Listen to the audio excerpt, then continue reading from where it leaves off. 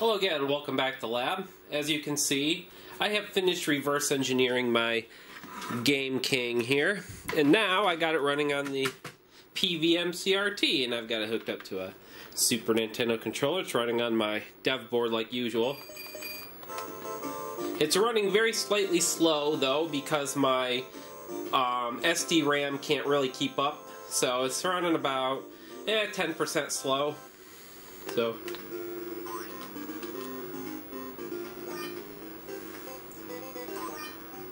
I just love that Castlevania that Castlevania style music.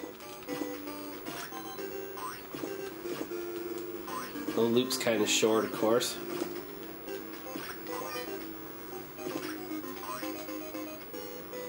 So this is so much easier to play versus that little tiny crappy LCD.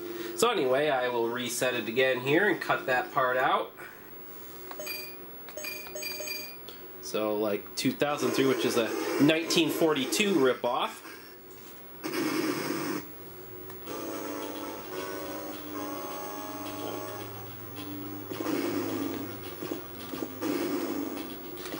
It's actually kind of fun, but it's sort of easy.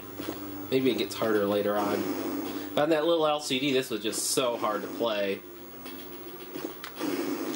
So that's the built-in games. That's all well and good. What if I want to play, say, Duckman? All I have to do to play Duckman, I just have to load it and then run it. It's loaded, now it's running.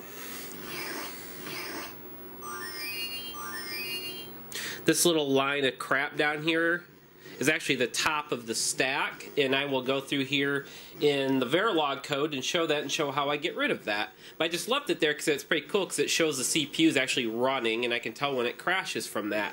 So I just thought it was an interesting bug that I left in during development. So this game works fine too.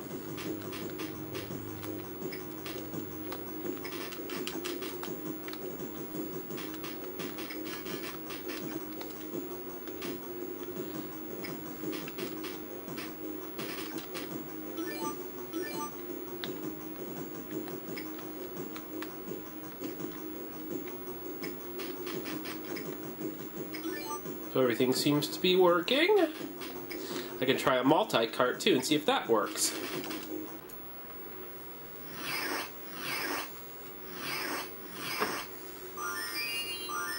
Yes, that's the thing that Ashens really hates, and I tend to agree after watching it very for so many times. Pocket Tank, Dracula Zone, Zon, Hero and Star Gazi. Let's try Dracula Zon.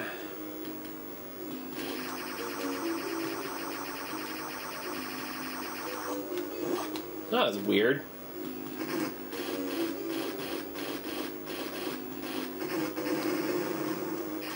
Oh, I see. That's like your like power item. Okay. I wonder what this game's a rip-off of. Okay, enough of that. Let's try that other multi-cart that has a Super Mario rip-off. Yeah, this Dragon game is a rip-off of Super Mario Brothers. So I think that's pretty hilarious, actually.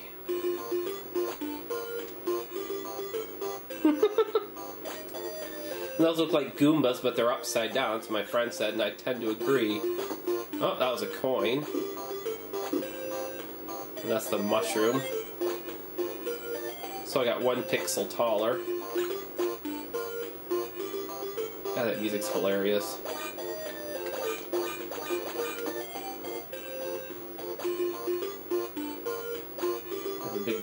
Can't go down it.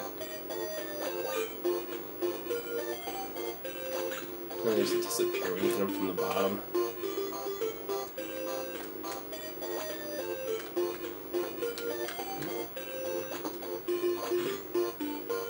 Where is it?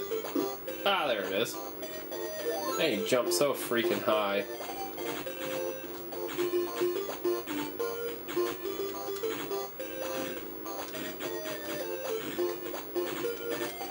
And that music is just hilarious. Yeah, sure, there's a lot of churches in this level. Or those telephone poles.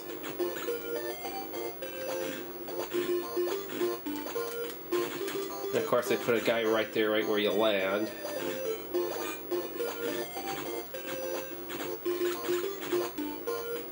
Well, that looks vaguely familiar. Too bad your shots don't bounce like in Super Mario. Yeah, they put that guy right there.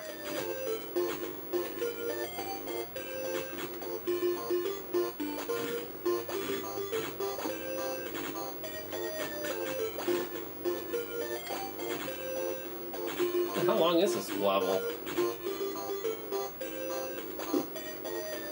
Oh, it's a shield, I think.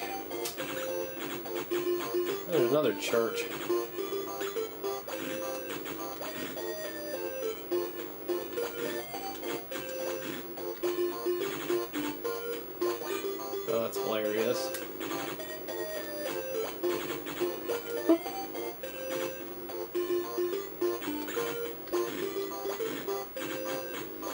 Level keeps going.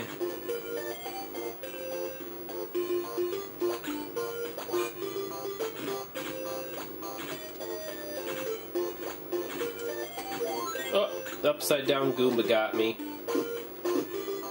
That socks. Man, what's this level over?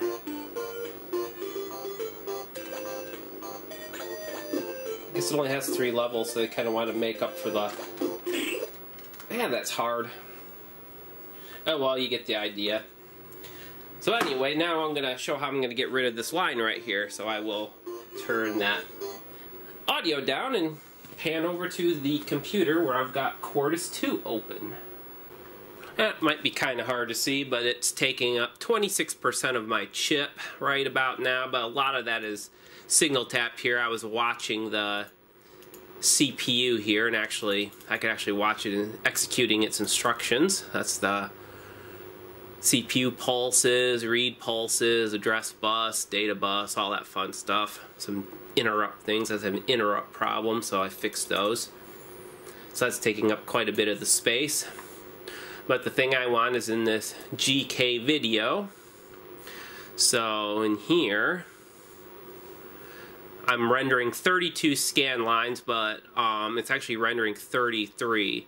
And that would be in this Y counter here. So that's the X timing. Uh, here's the Y timing. Let's see. So I change this 32 to a 31 and then recompile it. And that takes, what, a minute or two minutes to recompile. So after a short break,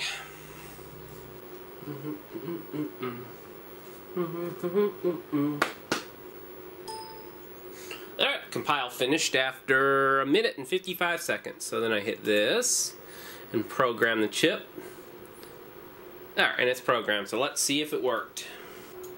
Set the video mode and run the game. And there, that thing is cut off the bottom. Turn that nice, horrible sound up. So let's play Street Hero.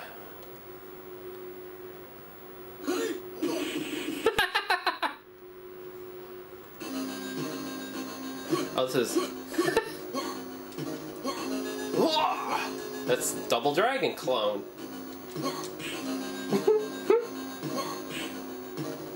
Oh, that's hilarious.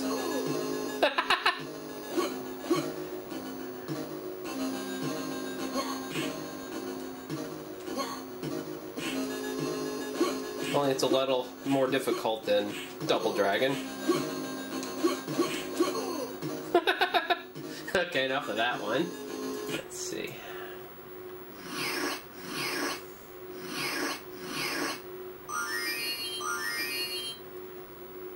Yeah, it looks nicer without that quote-unquote debug line in there. So here's my question. Why is this game on the multi-cart when it's built into the system and non-removable?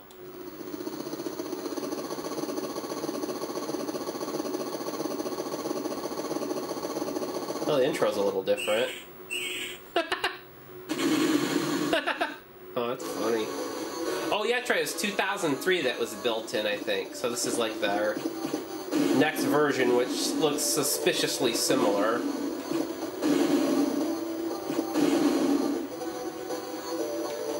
Different music and slightly different graphics. But, well, that's funny. It is a little different, I guess, but you'd be forgiven if you assumed it was the same game. I think that number in the corner is like your fuel, because when I got hit it went down quite a bit. Yeah, like that.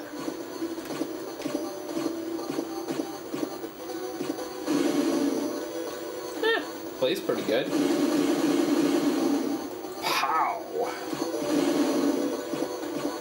That's happens when that timer runs out. Oh! Figures. That's pretty funny. that sounds familiar. So that's a look at the Game King on my FPGA board right here. And yes, it really is running on there.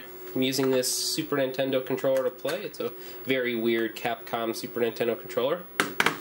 And I don't have to rely on the stupid little LCD on the Game King anymore. And I can actually hear the audio through the speaker and it sounds good. So thanks a lot for watching. I hope you enjoyed it. And please rate, subscribe, and comment. It really helps.